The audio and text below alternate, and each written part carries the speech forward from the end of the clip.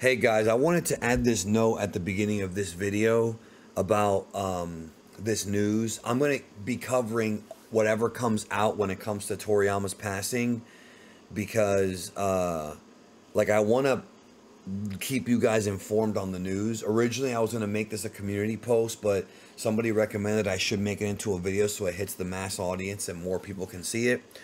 But I wanted just to tell you that, like, you know, I, I wanted just to say that I'm not trying to, because there's already a couple of slime balls who are going to accuse me and other content creators of trying to profit off this man's name. I'm not trying to profit off this man's name. Uh, Not everybody on the internet's a scumbag. I was very hurt by the passing of this man, and I'm still mourning it because this guy literally, I've been a fan of his since I was four, and like, not everyone on the internet's a scumbag, okay? Like, this video is just to keep people informed and just so that people know what's up. So, I just wanted to say that because I'm getting it out there so that everybody's aware of why of, if these videos keep coming like i'm not to put any any promos on them. I'm not to put any like sponsorships. That's not even it's not about that. That's not what it's about.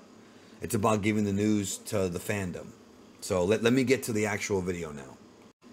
All right what's going on everybody? I hope that you're having a good day today. I hope that you are hopefully happy and healthy wherever you may be. I have an update about dragon ball series creator akira toriyama and not just the cause of death, but his health for the past year.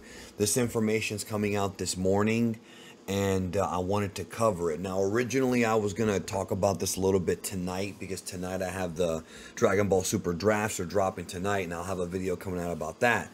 But I think this deserves its own video because the drafts, I don't even know what's going to happen with those, and I feel like with this, it's a lot more it's a lot more serious and i want to kind of keep this separate i want to keep the more serious toriyama stuff with involving his health in a separate video so i just want it's just better for me to kind of divide the two so a news article came out this morning from Kamisama Explorer that was in Japan. It's an interview with Toriyama's assistant Takashi Matsuyama, Matsusayama, excuse me, Ma- Matusayama. These names are not that easy sometimes.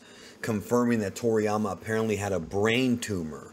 Now, um, this is not the only source on this. There's actually another source. I want to give credit to DB Cringer.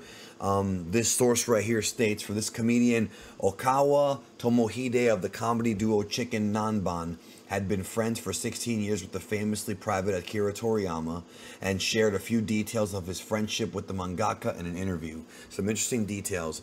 It says here Toriyama was extremely kind and genuine in his personal life. They got to know each other when Toriyama came to see a live performance 2007 or 2008 and came to the Uchiage, which is where a band or performance group goes to a bar or a pub after a performance. So it's the after party basically. Just a small after party. He gave an impression of being like a normal Oji-san basically what he's saying is that Toriyama was a humble man and even though he was wealthy and famous he didn't treat anybody like they were beneath him which a lot of people have said about the man.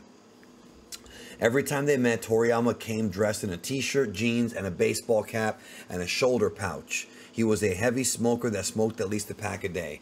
Yeah that's one of the unfortunate things about Toriyama when it comes to health is smoking. Smoking he and the Japanese you know, oftentimes are there. It, smoking is is still very heavily done over there. In this country, in the United States, it doesn't seem like people, at least from my age group or lower, are that big of smokers.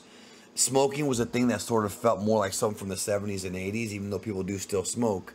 But in Japan, it's different says here Toriyama didn't own a smartphone or even a flip phone. This is what I was talking about, y'all. This man only accessed the internet at home via email. Like this dude was super disconnected from everything, man. He was kind of a country guy. He felt he would lose his private life if he got one. I like that. He, that's pretty smart. He communicated primarily via email from his PC. That's what I've been saying. And I this is not something that's like a inside information from me this was public during a Dragon Quest documentary I saw a few years ago where Toriyama only talked to people outside of his inner circle through email. The dude was extremely private. Extremely private. He didn't appear in public in part because he didn't like the idea of having a public persona in people's imagination. Toriyama had almost no health issues until 2022, but was hospitalized during the pandemic. So th- there was a rumor about him having COVID. It's not that he had COVID, it was, it was something else. It says here around April 2023, he emailed Okawa letting him know he was considering being hospitalized due to a brain tumor. Okawa was concerned, but not overly so since Toriyama seemed so healthy at the time. Toriyama later emailed saying he was undergoing brain surgery in February 2024 to remove the tumor before passing away on March 1st of an acute subdural hematoma. Okawa doesn't know whether the two were related. So, uh, as of this article, so he was going to remove the tumor in February. And apparently, again, nobody knew about this. There was this is super private information that's just now getting out we don't know if he actually got the surgery or not. It could be possible that the surgery, that he did get the surgery, but there was something else. Maybe a call, maybe maybe something happened with. There was an issue after the surgery with his brain. Maybe they removed something and there was there was a mistake made by the doctor, or it could just be that the cancer had gotten, the tumor in his brain had just. I don't want to say cancer. It was a tumor. It doesn't have to be cancerous, but the tumor in his brain may have just, you know, just gotten too big um, but it's it's uh it's a bummer. Like the, look, I I'm not gonna blame the smoking, but I do know that obviously everybody knows smoking causes lung cancer, and my mom passed away of bone cancer from smoking. She got pancreatic and bone cancer from smoking. If you have cancer, smoking just makes it worse. So it could be possible that Toriyama had it for a while, didn't know, and then the smoking made it worse. I don't know. I'm not here to speculate on that. Um, even though I just did, I'm not trying to.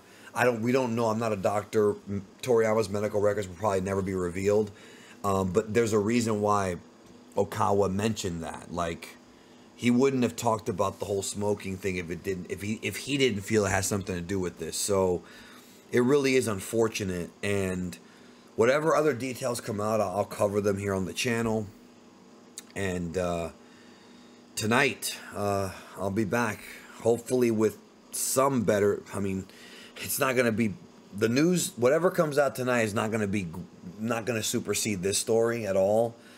But I will be covering it, so there's that. The Dragon Ball Super manga is still going to come out this month. Um, I don't know about where it goes after this, but we'll find out soon. So yeah, Toriyama's more information coming out about the passing of Akira Toriyama. And I'm, I'm glad that he got to spend his final years with his family. Uh, you know, he was a very private man and spent most of his time with his family. And that to me is, is great. Like when you can get wealthy where you don't have to like leave work or leave your house to go to work and just spend all the time with your family, at least he seemed to have had a happy life. And that's good. That's the most we can ask for. Anyways, y'all, take care of yourself and your loved ones. I'll see you tonight.